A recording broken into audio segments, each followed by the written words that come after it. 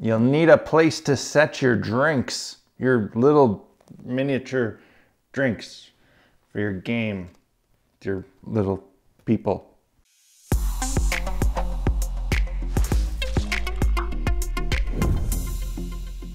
Hey guys, welcome back to another episode of Black Magic Craft. Every good tavern needs some tables. I, I know, last episode, and I think also the one before it, I said that you don't need to set up things like taverns with 3D terrain on your table and that you can just theater of the mind roleplay it. And that is true. However, sometimes you want to set up the tavern because it's gonna get raided by zombie goblins. I mean, that's a thing that happens all the time. It's normal. So you may need to set up a tavern once in a while, and that tavern is gonna need some tables. In fact, it's gonna need a whole bunch of things. Tables, bookcases, bar, whole bunch of stuff. This episode is the first episode in a series of items to decorate your tavern.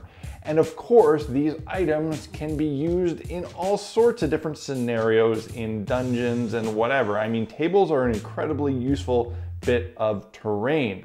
Every dungeon has some tables. They also can double as little like goblin barricades for people stand behind. I mean, they're super useful. So in the first episode of this series, I'm gonna start with tables. And just so you know how I landed on this series and why I'm doing it, it's actually to celebrate and thank my Patreon supporters. A while ago when I started the page, I set out a certain monthly goal that would help me to buy a new computer for editing these videos and lo and behold, thanks to everyone's generosity, I was able to meet and exceed that goal. As a thank you, as promised, I'm gonna be giving away some terrain that I built myself to one random Patreon supporter. I wasn't sure what to build for this reward, so I used the awesome democratic tool, which is the Patreon community, and I left it up to those folks to vote. I for sure thought they were gonna choose a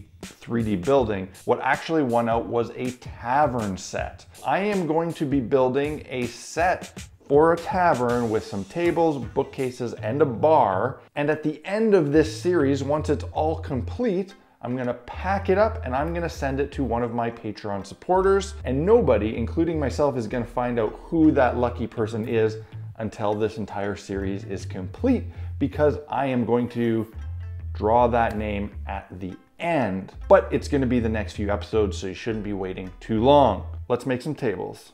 I've mentioned this in the past.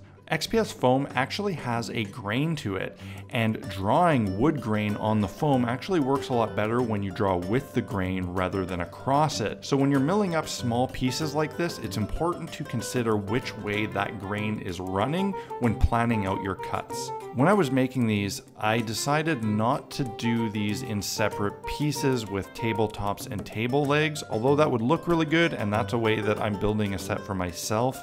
Since I'm gonna be giving this set away, I wanted to make sure that they were super, super durable. And the best way to do that was to actually carve these out of one single piece so that there isn't a weak glue joint involved whatsoever. Now normally when I do line work on foam, I'll first score it with a knife and then follow through with a pen. But because these pieces are so small, I do not want to sacrifice any strength with a blade cut. So I'm opting to just carve all the wood planks with a pencil indentation. And then I'm using a mechanical pencil to actually draw in the individual wood grains. The really thin mechanical pencil lead lets you draw really nice detailed wood grain lines that create a really nice exaggerated wood grain look. I also wanted one head table that was a little bit bigger and a little bit more embellished. So I made one that was longer and I used some very small strips of construction paper to act as iron banding. And I used the point of a pen to make some indentations to represent rivets. And to attach them to the foam, I just used a little bit of Aleene's tacky glue with a paintbrush. You could use regular PVA, but the tacky glue holds it in place faster. And to make these pieces more durable, especially because they're small, I used my regular method of Mod Podge mixed with black paint. And as you can see, the Mod Podge does not decrease the fine detail whatsoever. I wanted the wood on these to have a newer look, so I started out with a nice light golden brown as my base color. And to add some natural variation, I took some burnt sienna and mixed it into that golden brown and did some light streaking across all the wood planks. I then did a light dry brushing with a tan just to weather the wood a little bit, and then a very, very light dry brushing with an off-white just to highlight the very highest edges. And for the iron banding, I decided not to use metallic craft paints and instead use my Reaper miniature paints. I find that on very small little metallic pieces like this, the thinner miniature paints work just a bit better, but you can definitely use the craft paint in a pinch. To complete the pieces, I actually mixed up a special batch of wash that wasn't a pure black, but was actually a very, very, very dark brown. With the wash in place, you can really see how nice that wood grain carving looks.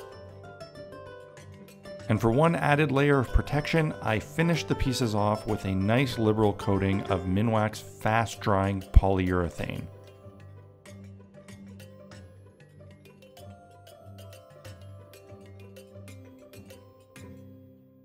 And there you have it, a very simple build that will quickly decorate your tavern. I hope that you found this video useful. If you did, hit that like button, drop me a comment below. Consider heading on over to Patreon and joining the Black Magic Craft Fellowship. The support there goes a long way to keeping this channel afloat and going strong.